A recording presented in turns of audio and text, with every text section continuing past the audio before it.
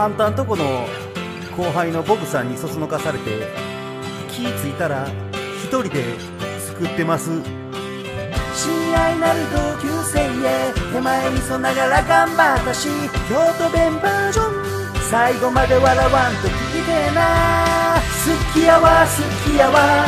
うちはアンさん好きやわ。鴨川沿い二人で手取り合ってしょうもない話で笑って。